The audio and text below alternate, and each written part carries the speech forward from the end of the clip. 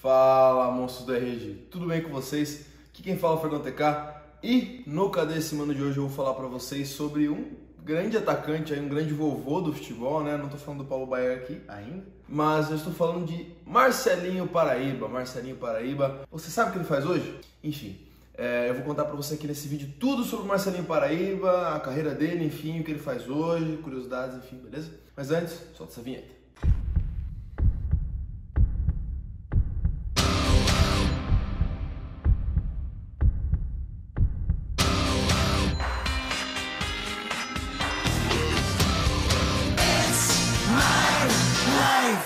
Nosso amigo Marcelinho começou a carreira dele no Campinense, nas categorias de base do Campinense, e nessa aí é, ele subiu profissional e tal, no começo dos anos 90, e o time do Campinense era muito promissor no começo dos anos 90, gente. Então, é, ele foi campeão duas vezes seguidas da, do Campeonato da Paraíba, né, da, do Campeonato Paraibano, e o Marcelinho Carioca fazia parte daquele time, né, aquele time que cativava bastante a galera do Nordeste, e assim, ele começou a atrair interesse, né? Começou a vir interesse de fora, né? Começou a vir interesse de outros times do Brasil.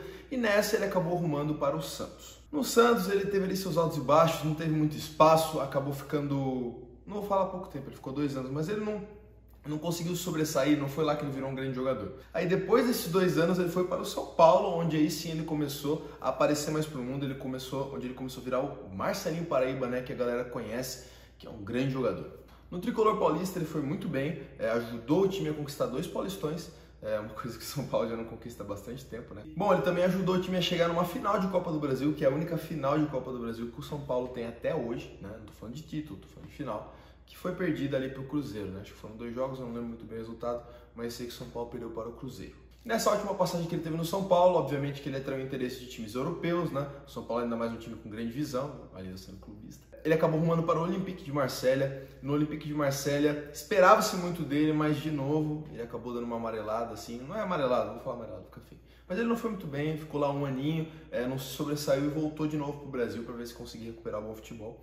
É, até ele acertar no Brasil ele acertou com o Grêmio. E no sul do país, Monstros ele não só conseguiu recuperar o seu bom futebol, como ele também caiu nas graças da torcida do Grêmio, né? Ele, tanto que ele era chamado de Marcelinho Paraúcho, né? Em referência ao Ronaldinho Gaúcho, que também foi que também foi revelado no Grêmio. Que foi revelado no Grêmio.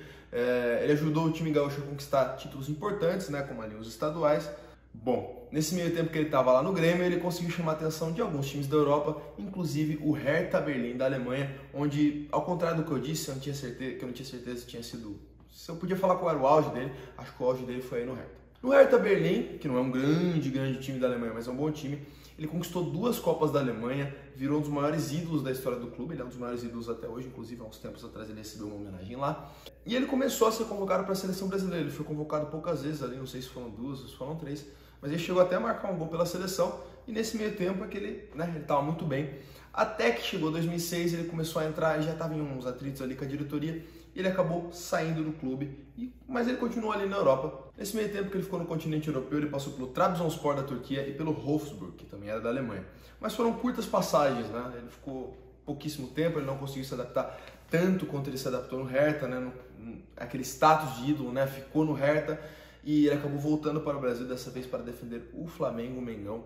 No Mengão ele teve seus altos e baixos, conquistava a torcida em alguns momentos, em outros nem tanto, mas enfim, é, ele teve uma passagem até que interessante, que não durou muito tempo, até por conta de atrasos salariais, e isso fez com que ele rumasse para o Curitiba, né?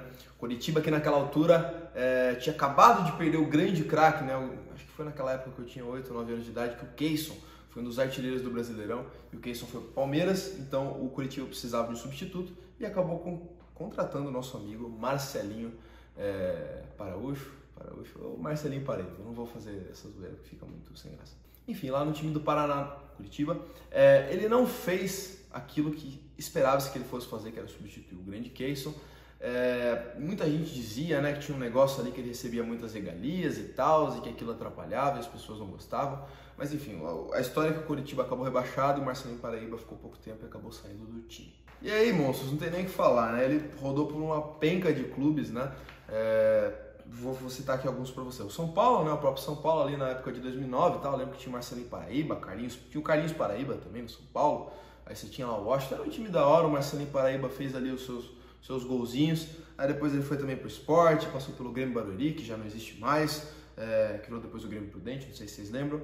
Passou também pelo Fortaleza, Inter de Laje, Joinville, Ipiranga, de, Ipiranga de Erechim, 13 e Portuguesa, né? E, e por aí vai. Também tem o Boa Esporte, enfim, passou por outros clubes. Mas é interessante ressaltar aqui, né? Eu não vou falar para vocês sobre a passagem, a passagem dele pelo 13.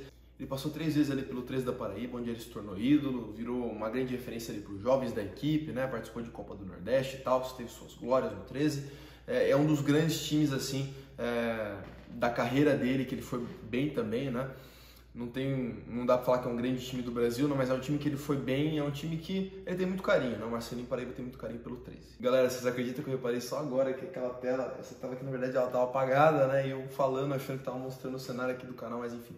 Bom, pessoal, o Marcelinho Paraíba, depois de rodar por todos esses times, desde times grandes até médios, times pequenos, ele acabou se aposentando aos 45 anos de idade, jogando pelo 13 da Paraíba, como eu já disse, é um time muito importante na carreira dele, onde ele tem muito carinho, foi ídolo. É, e no 13 ele se aposentou, pendurou chuteiras. E aí, meus amigos? Chegamos naquele momento, né? Marcelinho Paraíba. Eu não vou falar aqui da seleção do Marcelinho Paraíba, porque ele acabou fazendo dois, três jogos ali, foi uma outra convocação para é, as eliminatórias da Copa do Mundo ali de 2006, mas é basicamente um, uma informação a mais, assim, só que vocês estão tendo. Agora realmente falando sobre o que faz Marcelinho Paraíba, agora eu vou revelar para vocês que Marcelinho Paraíba, logo depois que ele se aposentou, né, bem pouco tempo depois que ele se aposentou, ele já se botou à disposição, principalmente do 13 ali para ele se tornar treinador, né?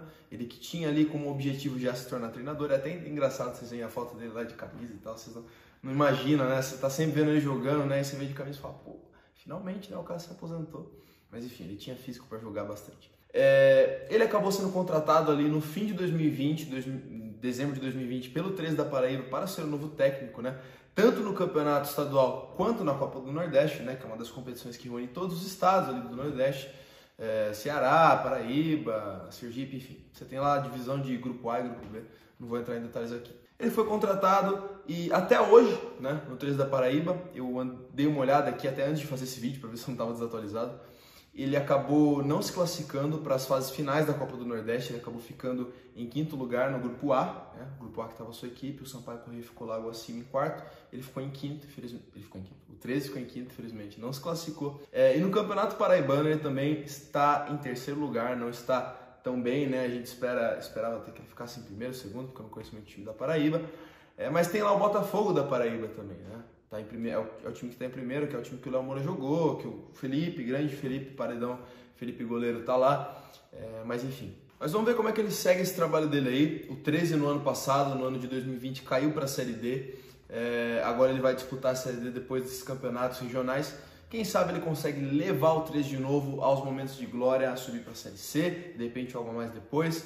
Eu torço por bem dele, né? Mas às vezes também as coisas podem dar errado. Enfim. É, mas enfim, a gente já contou aqui para vocês o que Marcelinho Paraíba faz, espero que vocês tenham gostado aí desse vídeo, desse vídeo totalmente detalhado sobre o nosso grande vovô do futebol. Deixem like, se inscrevam no canal, ativem o sininho, deixem seus comentários.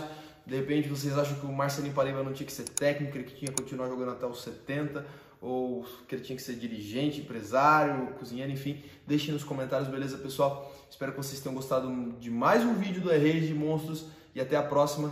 Valeu!